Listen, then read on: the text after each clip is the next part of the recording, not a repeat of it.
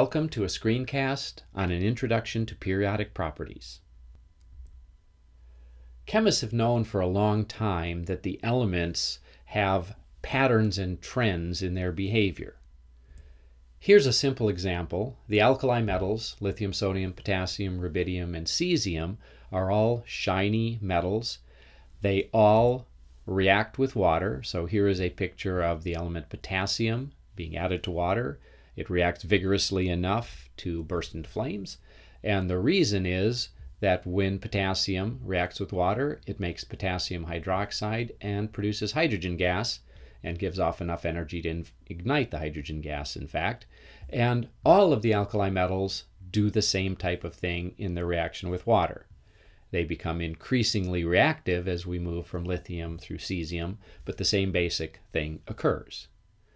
Now, all kinds of elements have some periodic behavior, some similar behavior among many of the elements. And way back in the 1800s, a Russian scientist named Dmitry Mendeleev organized the known elements uh, according to their increasing mass and organized them by grouping elements that had similar behavior together. So, for example, he made a column of the alkali metals, and he made a column of the what are now known as alkaline earth metals, etc.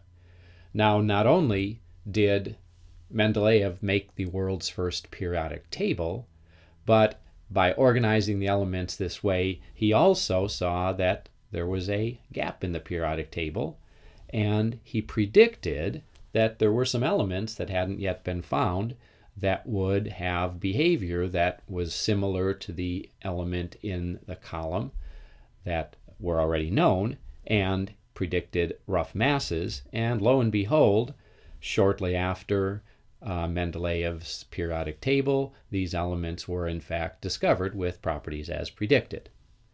Now, of course, Mendeleev's periodic table was pretty rudimentary.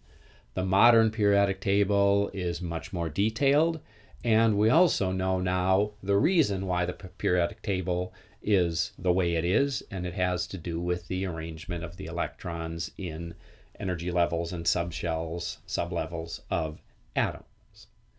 So let's take a look at what this can tell us about certain properties, and we'll pick here as one example uh, the property of ionization energy. Ionization energy is the amount of energy needed to remove the electron from an atom.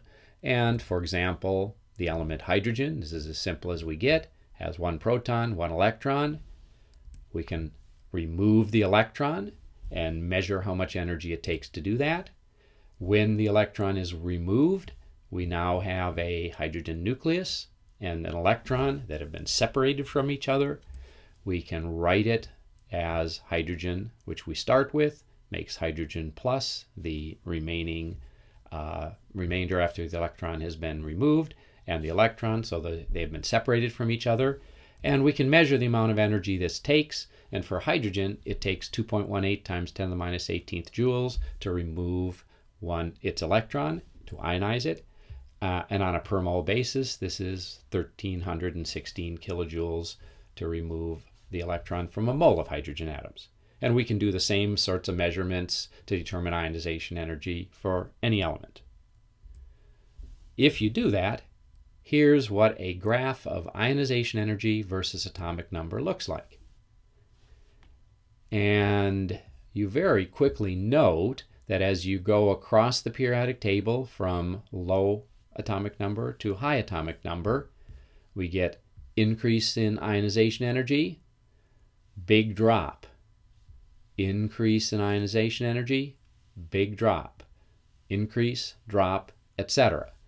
So we have periodic behavior where we have this repeating pattern of increase of energy, big drop or big drop of energy, gradual increase, big drop, and so on.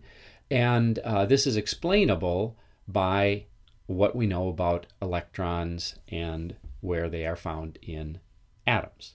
So let's take a look at this. And here is the uh, a very sort of simple picture of the element of an atom of sodium. It's got 11 protons and 11 electrons for the atom, two in the first shell, eight in the second shell, and one in the third shell. And if you can imagine you were the valence electron, so be the valence electron and think about what, uh, what sorts of forces you're going to feel. You're going to be attracted quite strongly by the nucleus, but you're going to be repelled by the other electrons. And very, very roughly, what we can do is say for this outer electron, this valence electron, there's a positive 11 charge due to the nucleus, but then that's surrounded by two shells with 2 plus 8, so that's 10 total electrons.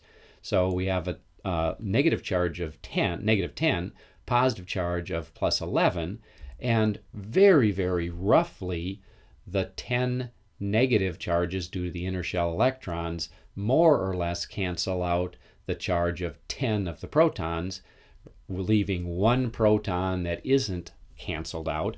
And this is something known as effective nuclear charge and shielding of the nucleus. So, very, very roughly, we'd say the inner shells of the electrons shield the nucleus, and we have a, an effective nuclear charge uh, due to the balance between the nucleus and the shielding of the inner shell electrons of plus one.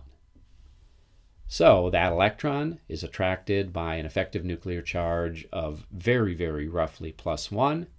And it turns out that it takes 470 kilojoules to ionize a mole of sodium atoms.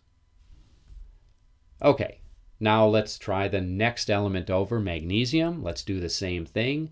This time we have two valence electrons and try to be or imagine you're the valence electrons for magnesium. And what we have is now 12 protons in the nucleus still have 10 inner shell electrons, but now two outer shell electrons. And if we do this very, very rough shielding idea, we have a, a 12 uh, positive charge of 12 due to the nucleus, negative 10 due to the 10 inner shell electrons, and that gives us a bigger effective nuclear charge than for magnesium. So we have a very, very rough effective nuclear charge of plus 2. So same shielding as in sodium, but a larger effective nuclear charge. So if you're one of these valence electrons, you're feeling a larger positive charge. That's going to make it harder to pull away from that uh, nucleus and its uh, and and its uh, effective charge. And so it's going to be harder to remove the electron. We would predict a higher ionization energy. And if we measure it, it is quite a bit higher, 730 kilojoules per mole to ionize magnesium. Same thing applies as we keep going across the periodic table uh, with more and more valence electrons in that third energy level, the nuclear charge will increase and it will become more difficult to remove electrons. Now let's also consider the other direction on the periodic table. What if we move down to potassium? And so potassium has 19 protons and it's got 2 plus 8 plus another 8 for the third shell. So it's actually got 18 valence, uh, sorry, 18 inner shell electrons. And what we have is a plus 19 due to the nucleus, minus 18 due to the inner shell. That gives us, once again, an effective nuclear charge of about uh, 1 same idea as in sodium, same shielding of nucleus, uh, but another energy level. And what ends up happening then is because we have an, another energy level, although the effective nuclear charge is the same as in sodium, we have a farther out electron, and if it's farther away, it feels less of a charge, making it easier to remove the electron and giving a lower ionization energy and this is again by comparison to sodium. So we would predict a lower ionization energy, and in fact, we do get 420 kilojoules per mole, which is less than the 490 kilojoules per mole for um, sodium. Same trend will apply as we go further down the periodic table. Here is a little piece of ionization energy versus atomic number, and one can see as you go from lithium to sodium to potassium the ionization energy goes down gradually as you go from sodium to magnesium and then keep going uh, across a row. The ionization energy increases gradually. There's a couple blips in there. We'll talk more about those later. But as a general trend, ionization energy generally increases going across a period, generally decreases going down a group. And if we do the full blown picture uh, showing lots more elements, we can see this repeating pattern. Ionization energy gradually goes up as we go across uh, a, row, a row. Ionization energy drops as we go down a column. So as we take an element, uh, elements in the same column and track them, they grow, go gradually down. Okay, so that is it for the basic introduction to periodic properties.